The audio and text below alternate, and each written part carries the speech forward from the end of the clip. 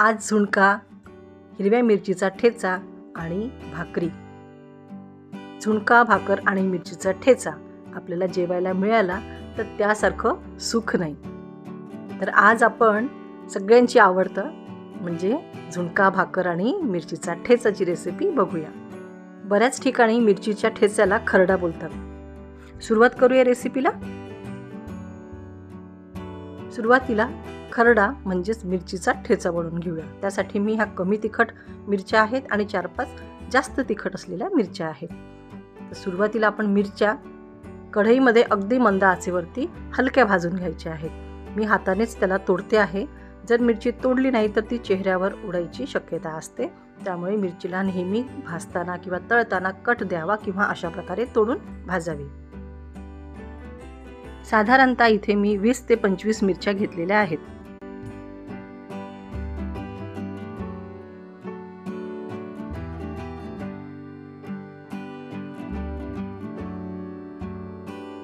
मिरच्या थोड्या हलक्या भाजून झाल्यात की त्यामध्ये एक वाटी लसूण घालायचं आहे. मी हा आत्ता नवीन आलेला लसूण वापरते आहे आणि याचा ठेचा तुम्ही बनवून बघा. अप्रतिम टेस्टचा ठेचा बनतो. आता मिरच्या आणि लसूण परत एखाद मिनिट आपण भाजून घ्यायचं आहे. अगदी मंद आचेवरती भाजायचं. ड्राय रोस्ट करायचं. यामध्ये तेल वापरायचं नाही.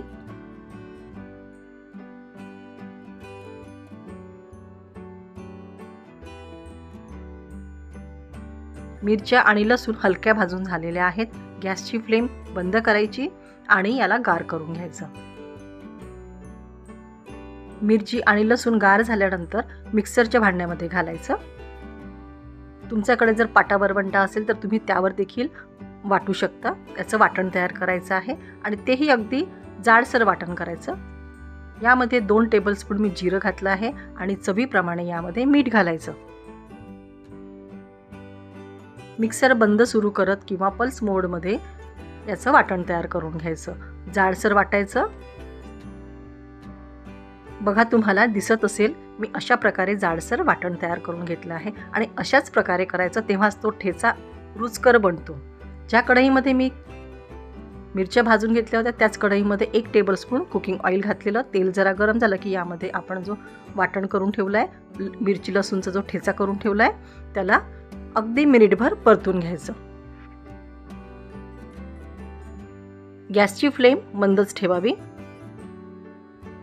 बऱ्याच ठिकाणी मिरची लसूणच्या ठेचाला खरडा देखील बोलतात. आपला जो खरडा किंवा ठेचा छान परतून झालेला आहे आता गॅसची फ्लेम बंद करायची. आणि यामध्ये अर्धा लिंबाचा रस घालायचा. लिंबाचा रस घातला की ठेचा आणखीनच छान होतो. लिंबाचा रस ठेच्यामध्ये व्यवस्थित मिक्स करून घ्यायचा आणि आता हे सर्विंगसाठी रेडी आहे. आपण एका बाउलमध्ये काढून घेऊया. तर अशा प्रकारे मिरची लसूणचा ठेचा किंवा खरडा तयार झालेला आहे. तुम्ही असा खरडा नक्की बनवून बघा.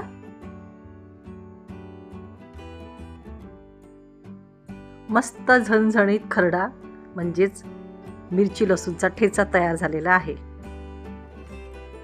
असा हा ठेचा किंवा खरडा नुसत्या भाकरीसोबत जरी खाल्ला ना तरी अप्रतिम लागतो. आता पुढे झुणका कसा बनवायचा ते बघूया. त्यासाठी माझ्याकडे मी कुंडीमध्ये बरेचदा असे कांद्याचे पातीसाठी कांदे लावते आणि ही कांद्याची पात मी बरेचदा सॅलेडमध्ये कुलशावरती किंवा असं झुणक्यामध्ये घालते. खूप टेस्टी वाटतं. तर अशा घरच्या घरी तुम्ही मेथी मी मागे तुम्हाला मेथीचा पण रे एक व्हिडिओ शेअर केला होता. मी घरच्या घरी मेथी देखील लावते. लसूण देखील ला कुंडीमध्ये लावते. कोथिंबीर लावते पालक लावते आणि असे पातीचे कांदे मला हवे असतात त्यामुळे मी कांदे देखील लावते. तर घरच्या घरी आपल्याला ऑर्गॅनिक आणि फ्रेश कांदे मिळतात. मी बरेचदा पातीचा कांदा झुणक्यामध्ये वापरते. बरेच लोक वापरत देखील नाहीत. पण आपण इथे झुणक्यामध्ये पातीचा कांदा वापरणार आहोत. तर हे पातीचे कांदे धुवून पुसून घ्यायचेत आणि याला बारीक चिरून घ्यायचं.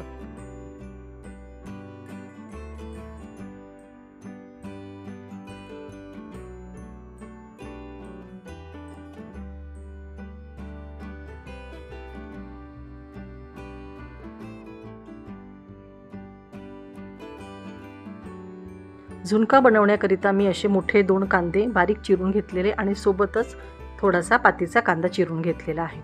कढई गरम करायला ठेवायची. कढईमध्ये सात ते आठ टेबलस्पून कुकिंग ऑइल घातलेलं आहे. झुणक्याला तेल थोडं जास्त लागतं. आता यामध्ये कांदा चिरलेला कांदा घालायचा.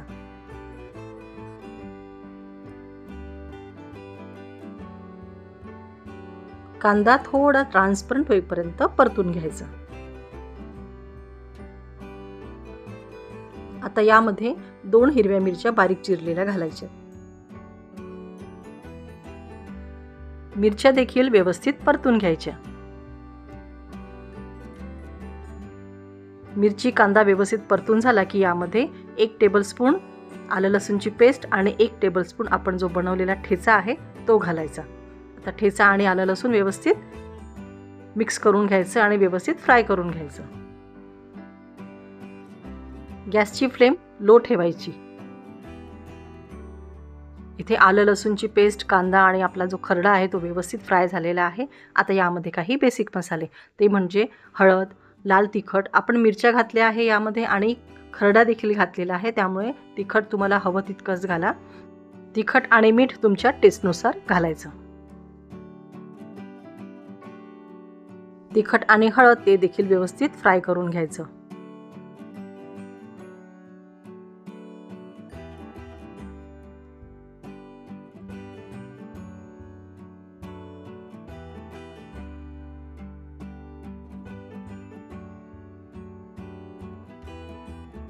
तिखट मीठ तुम्हाला दिसत असेल व्यवस्थित फ्राय झालेलं आहे.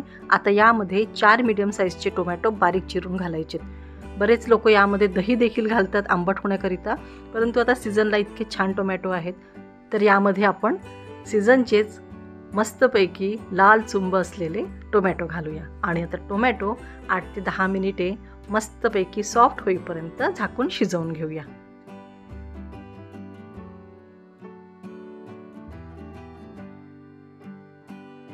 बघा इथे आपले टोमॅटो मस्त शिजलेले आहेत छान सॉफ्ट झालेले आहेत. अशा दिवसांमध्ये हिवाळ्यामध्ये जर झुणका भाकर आणि खरडा नाही खाल्ला तर काय खाल्लं? तर असा झुणका भाकर आणि खरडा हिवाळ्यामध्ये तर अवश्य सगळ्यांनीच खायला पाहिजे. याचा आनंदच वेगळा असतो. आता इथे टोमॅटो आपले छान शिजलेले आहेत. यामध्ये मी एक ते दीड वाटी बेसन पीठ घालते आहे. म्हणजे चणा डाळीचं पीठ घालते आहे. थोडं थोडं करून घालायचं आणि व्यवस्थित मिक्स करत जायचं.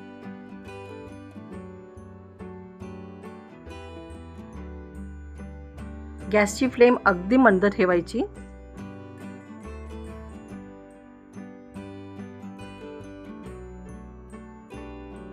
थोडे थोडे करत मी यामध्ये एक ते दीड वाटी बेसन पीठ घातलेलं आहे. आणि याला थोडं दोन मिनटाकरिता कंटिन्यू फिरवत जायचं चमच्याने फिरवायचं जेणेकरून तळात लागू नये.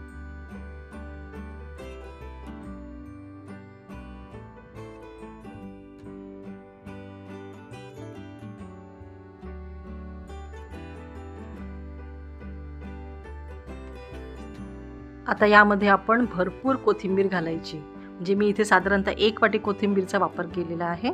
तर सुरुवातीला अर्धा वाटी कोथिंबीर घातलेली अर्धा वाटी कोथिंबीर वरून घालूया. परत एकदा व्यवस्थित मिक्स करून घ्यायचं. आणि आता याला झाकून मंद आचेवरती शिजवून घ्यायचं आहे. बेसन शिजलं नाही शिजलं हे कसं कळणार ते मी तुम्हाला सांगते. साधारणतः पाच मिनिटे झालेली आहे. पाच मिनिटानंतर एकदा आपण काढून बघून घेऊया. झुणका कोरडा असतो म्हणूनच आपण याला तेल थोडं जास्त घालतो. ते हे बरेचदा साईडला किंवा खाली करपतं. तर हरकत नाही. झुणका म्हणजे यामध्ये जे आपण चणाडाळीचं पीठ घातलं आहे ते अजून शिजलेलं नाही. तर यामध्ये आधी अर्धा कप इथे पाणी घातलेलं आहे. ते अगदी साईडने घालायचं आणि याला परत पाच ते सात मिनिटे झाकून मंद आचेवरती शिजवून घ्यायचं. बरेच लोकांना असं वाटतं की अगदी दोन मिनटात बेसनपीठ शिजतं किंवा झुणका शिजतो पण असं अजिबात नाही. याला वेळ लागतो. जोपर्यंत हाताला चिटकत नाही किंवा आपल्या चमच्याला चिटकत नाही तोपर्यंत झुणका झाला किंवा बेसनपीठ शिजलं शिजले असं समजायचं नाही. तर इथे बघा साधारणतः मी दहा ते बारा मिनिटे मंद आचेवरती झुणका शिजवलेला आहे. चमच्याने फिरवताना चमच्याला अजिबात झुणका चिटकत नाही म्हणजे आपला झुणका इथे तयार झालेला आहे. आता झुणका सर्विंगसाठी रेडी आहे. त्यापूर्वी आपण यामध्ये बारीक चिरलेली कोथिंबीर आणि बारीक चिरलेला पातीचा कांदा घालायचा. तुम्ही असा पातीचा कांदा झुणक्यामध्ये घालून बघा अप्रतिम झुणका म्हणतो आता हा झुणका सर्विंग बाउलमध्ये काढून घ्यायचा आहे. तुम्ही रंग बघा टेक्स्चर बघा अप्रतिम झाले आहे. आणि टेस्ट तर विचारूच नका. आपण भाकरीसोबत खरडा आणि झुणका खाणार आहोत त्यामुळे टेस्ट अप्रतिमच असणार आहे. तर अशा प्रकारे झुणका आणि खरडा म्हणजेच मिरचीचा ठेचा असा झणझणीत ठेचा तयार झालेला आहे.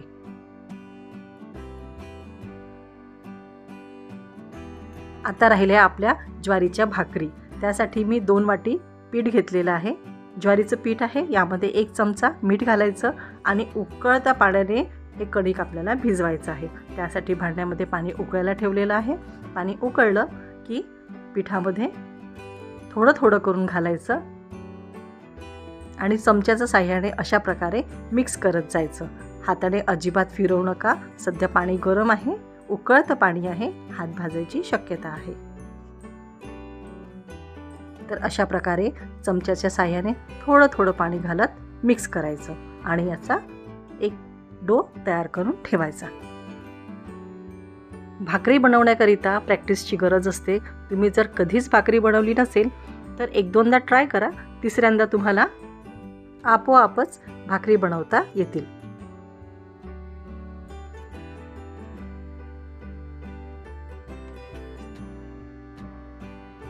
बघा इथे कणिक छान बाइंड झालेलं आहे. एक्स्ट्रा चमच्याला लागलेलं देखील आपण जे ज्वारीची कणिक आहे पीठ आहे ते काढून घ्यायचं. कणिक व्यवस्थित बाइंड झालेलं आहे. याला दहा मिनिटे झाकून ठेवायचं.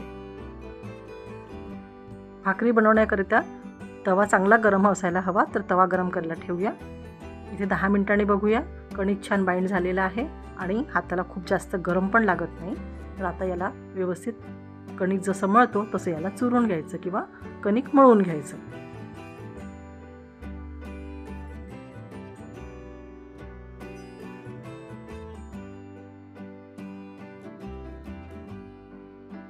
आता तुम्हाला जेवढी भाकरी बनवायची असेल तेवढ्या भाकरीचा गोळा घ्यायचा. लहान असेल मोठा असेल ज्वारीची भाकरी बनवताना थोडा गोळा मोठाच घ्यावा लागतो. तर याला तुम्ही जसं आपण कणकेचा पोळी बनवताना गोळा बनवतो तसा देखील हाताने गोल करून गोळा बनवू शकतो.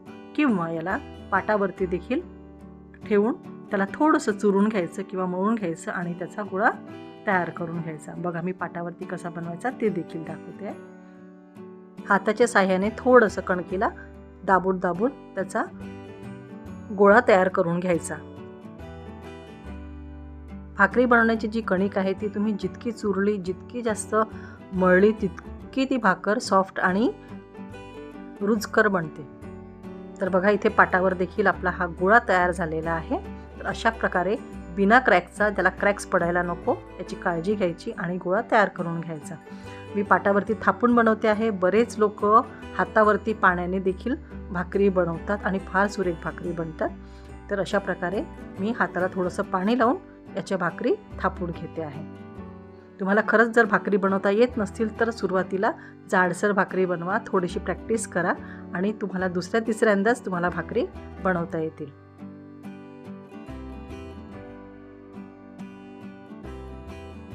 तर अशी भाकरी बोटाच्या आणि हाताच्या साह्याने अँटी क्लॉकवाईज ऑर क्लॉकवाईज तुम्हाला जशी फिरवता येत असेल सोपं पडत असेल तशी फिरवायची आणि बोटांच्या साह्याने सरकवत सरकवत तिला मोठी करायची.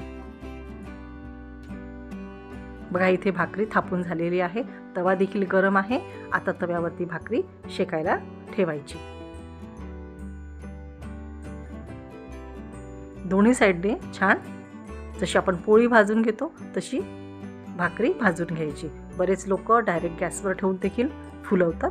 परंतु मी तव्यावरतीच फुलवते. मला तव्यावरती शेकलेली भाकरी जास्त आवडते.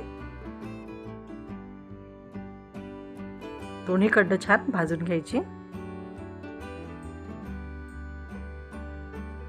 तर इथे आपली भाकरी देखील तयार झालेली आहे.